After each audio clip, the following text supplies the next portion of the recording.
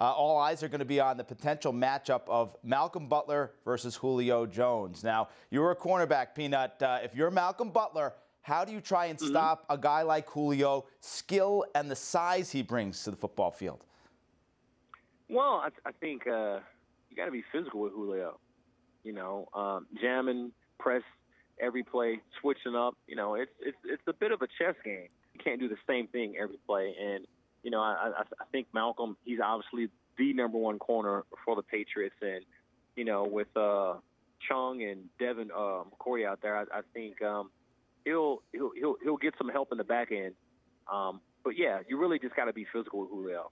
You know, Julio's going to get a couple catches here and there. You just got to limit the big plays. You know, he's a good enough to receiver where he's going to get a five yard, ten yard. But you know, if you keep everything under twenty, you know, and make him really and truly work for the 20, 30, 40, 50 yards, yeah, it's it's okay. But you just can't get frustrated when he has a little bit of success.